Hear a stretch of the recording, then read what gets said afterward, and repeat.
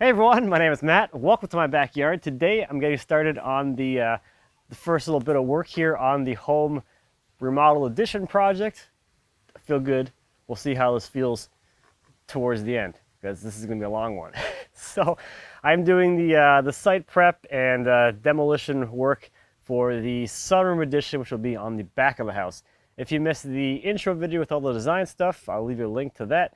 Definitely check that out to help make this make a little more sense. But we have two additions in this first phase. We have this large sunroom addition that's going to go on the back, and we have a small bump out on the front for the front part of the kitchen. So back here, this is a full basement foundation, so we want to get that dug and get that foundation in the ground before it starts getting, you know, cold here. It's uh, This is Minnesota, and today is October 10th. So we are kind of pushing to get that foundation in before it gets super cold once that's in, you know, we can work in the cold or whatever, but concrete work in the cold, not not not fun. So let me uh let me show you what we're gonna be doing today. So if I just spin you around here, this is our little backyard area, and this is the deck. So I have roughly staked out the corners of the addition here with that stake and this stake. So obviously everything inside of this has to go, and we need access space around it. So uh, the entire deck is coming out. I'll remove these panels which kind of shield the air conditioner units. Those will be moved later on or at some point over there. So they're moving anyway, but I'm not touching them today. We also have a generator in this back corner which has to go somewhere else, so that's got to move. And then the, the patio in here, I'm going to pull that up as well. So we have this stone patio here and this frog pond. Uh, with kids, the pond is not super great because they can't leave it alone. So I have drained it once and it's been filling with rainwater, but we're planning to remove it anyway. Uh, I'm gonna dig it out when the excavator is here, so I'm gonna kind of leave this alone, but uh, later on, basically we'll change our patio setup, we'll kind of flip it. So we have this fire ring over there right now, it'll probably end up in this corner, and we'll kind of mirror what was happening with these pavers later on, but I'll be saving uh, all this stuff. And to further illustrate where this is going, so this area here becomes this whole area here. So that will be the sunroom area, which will join onto the house of the existing wall is right here. So uh, I guess I get to get to work destroying things now. so I also need uh, we're gonna be coming in and out of here with the equipment, so I have to move the farmhouse table. I'm gonna do that first to get it all the way. Just gonna set it up here on the lawn.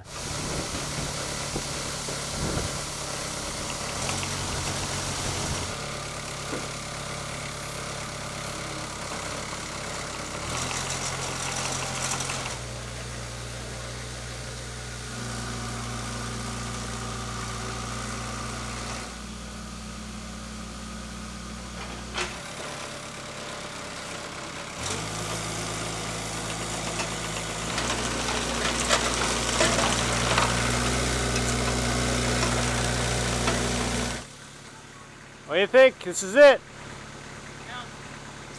It's crazy. Say bye-bye. I'm like happy and sad. like excited and very, very anxious because once you start taking things apart, it's harder to put them back together. Yeah, this, this, this part's easy.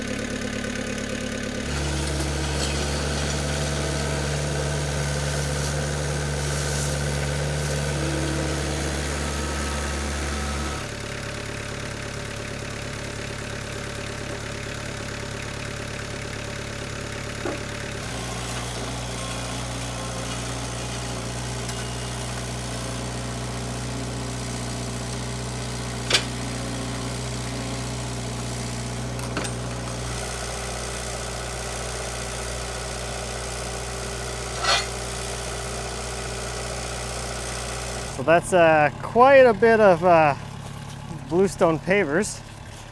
We've got two more left, and then uh, then we're done with the patio or the patio stones. It looks uh, kind of weird back here.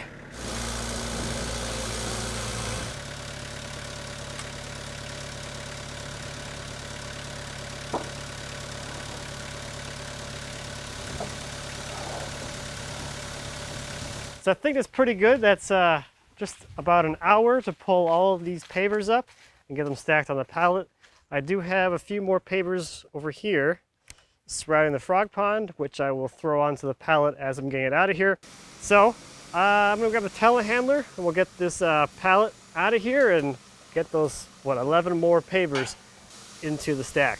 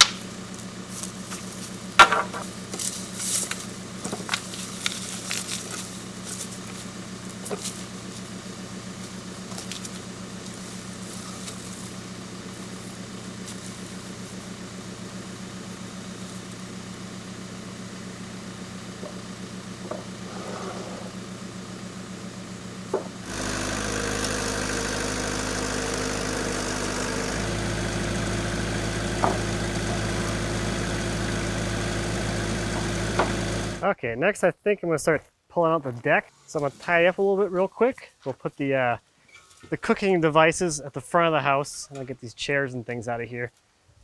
Uh, and then it's gonna be like uh, bajillion screws coming out.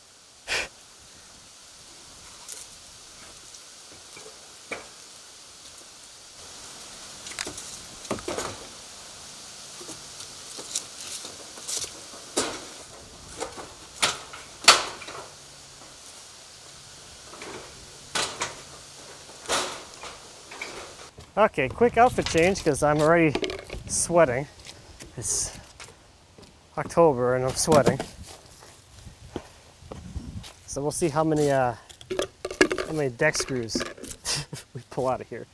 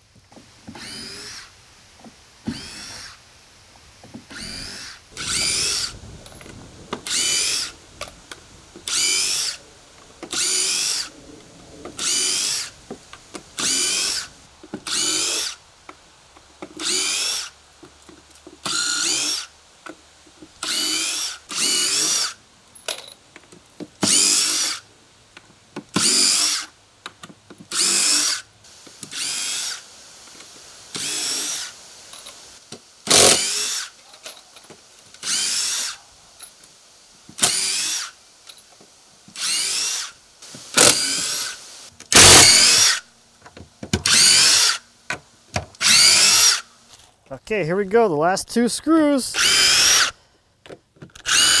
I have no idea how many that was, but I have three of these. That's a lot. An hour and a half.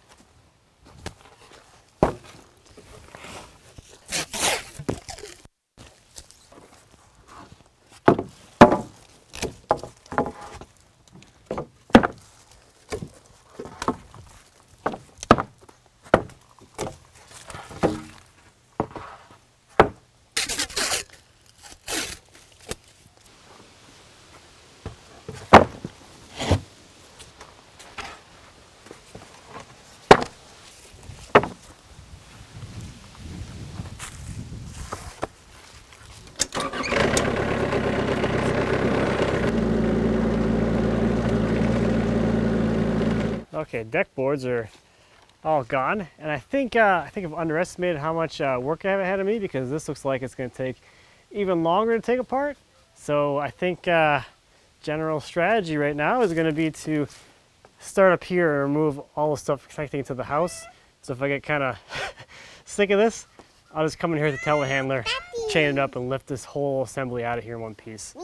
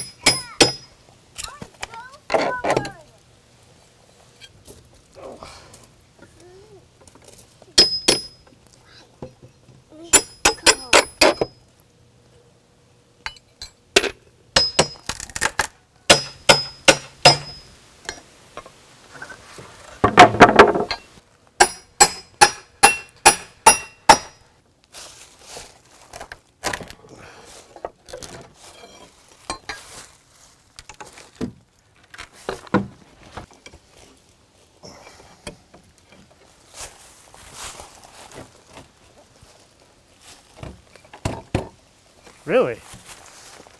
That's just sitting here. This whole thing is sitting here? Interesting.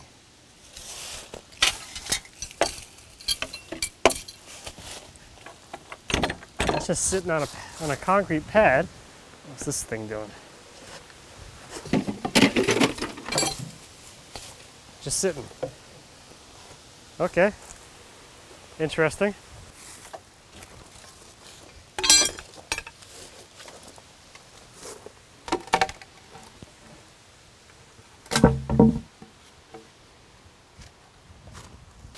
Everything is disconnected from the house except for these outside joists, and I can't uh, get to their whatever nails or screws over because the house's siding is in the way. And I don't know why, but I've been approaching this as if I need to like save everything. So I think uh, from now on we're gonna go a little more efficient with this and just get it out of here.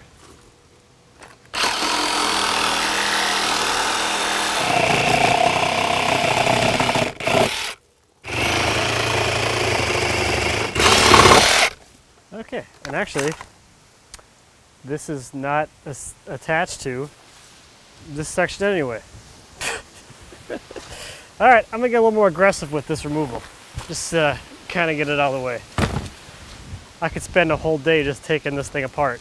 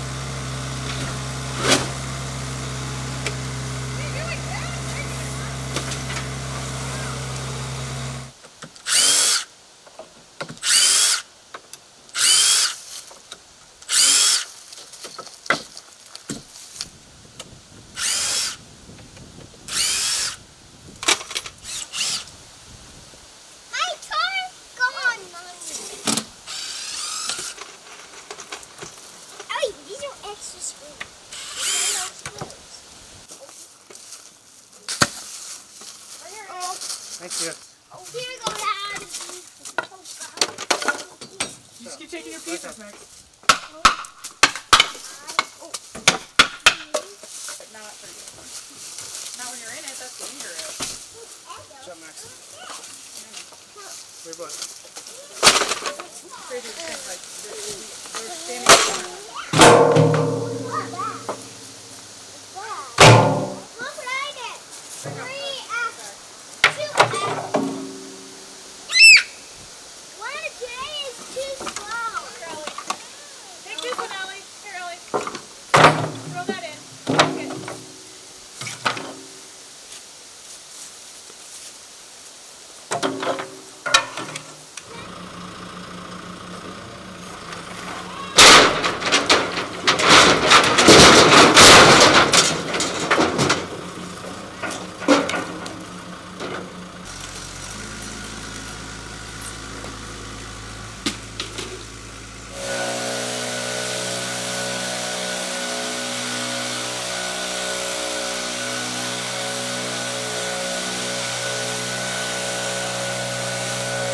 So I think that is pretty good progress for today. Tomorrow I'll get out here and move the generator, but that's really about it for things I need to do before excavating starts. But things look a little different now. it's very odd being here. So tomorrow we'll get out here and get the uh, generator out of the way, and that's going to be about it for the prep work. All right, good morning, everybody. After I turned the camera off last night, did a little bit more cleanup work. I started skimming some of this gravel off of here and uh, work on getting this landscape fabric out of here. This morning, I'm uh, looking at doing this generator thing, and things have uh, devolved quickly as I start looking at this. So my original plan was to just uh, take this conduit off the wall, flip this uh, 9 degree pull box around, and then run the conduit that way back over to this kind of area. So the first kind of problem I ran into was that this length here would put it somewhere here, which isn't gonna be long enough to go over there. So I would have to extend the electrical, which isn't you know a huge deal, but it's more than I wanted to deal with right now. But then as I was thinking about this, I also had the realization that this exit point on the house has to move anyway because our new structure is going to be out here somewhere. So this can't even be here. So I'm going to just kick the can down the road a little bit on this little side project and just disconnect the generator and just put it where I was going to put it over here for storage. And sometime when I have more motivation, I'll reroute and extend the electrical line through the basement, have it pop out somewhere else and come over here. And this is, I guess, sort of a long-term temporary fix because I really don't want the generator near the house anyway. I'd like to stick it like out there somewhere so it's quiet when it's running and we have one less thing crowding up the area around the house. But uh, yeah, we're just gonna kick this one down the road because I got other things to worry about right now. I want to have the generator hooked up before, you know, it's like winter, winter because it'd be kind of nice if the power goes out to have the furnaces still able to run. But uh, at least right now, for the next couple months, we really shouldn't have any issues with power outages because there's no storms. So I'm not super worried about that right now, and it's not super cold out, so it's not a big deal. So yeah, I'm just gonna get it out of the way so I can move on.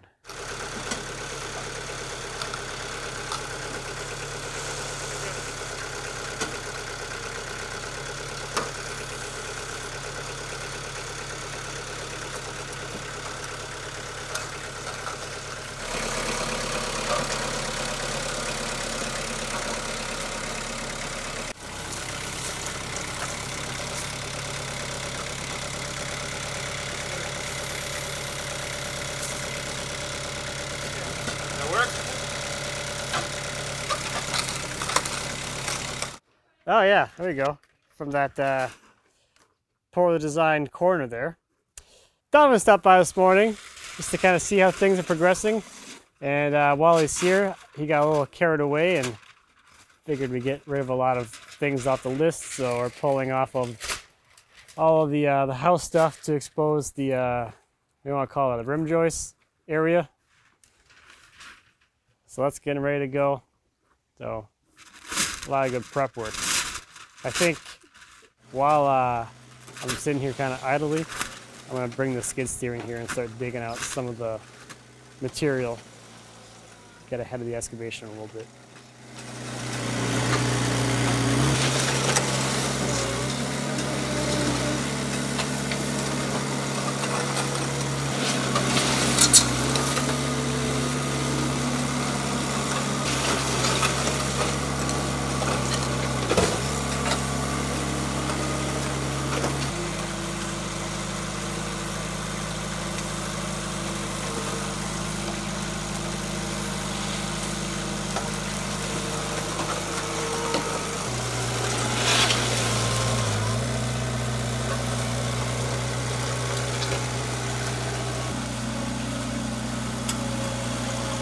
I got three bucket loads, well, telehandler bucket loads. It's like, I think four or five of those fills that, which is a yard and a quarter. And we got a good amount of stuff out of here. Uh, I'm finding all the old footings from things. Uh, that wasn't seen before. And I got these, which were here, but they weren't being used for the old deck. And then this was supporting part of the old deck, and it's not that big or it snapped off or something. So I'm gonna try and pull some of these things out with the grapple. We'll see where, where that goes. And I think that's probably gonna wrap it up for this one. Donavan took off. He took the uh, dump trailer full of the deck, or what's left of the deck, to the, uh, the dump to empty it.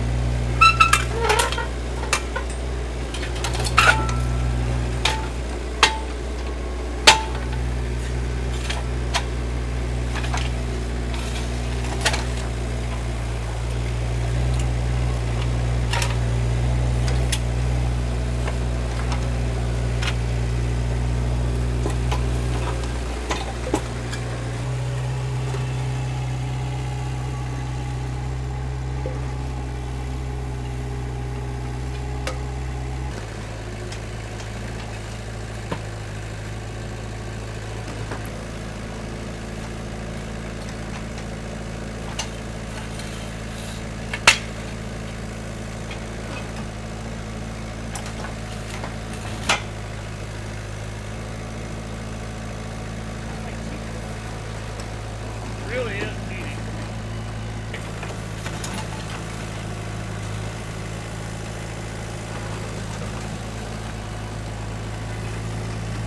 So I think it's probably going to do it for uh, all the prep work out here. Uh, at this point, probably going to start excavating, and we actually moved the excavator delivery date up a day because things are going so great. So we'll take advantage of all those uh, quick wins, I guess. So next time we'll be doing the uh, the big hole thing here. So I will see you next time. Let me know if you have any questions, and happy woodworking or whatever it is you like to do. Goodbye.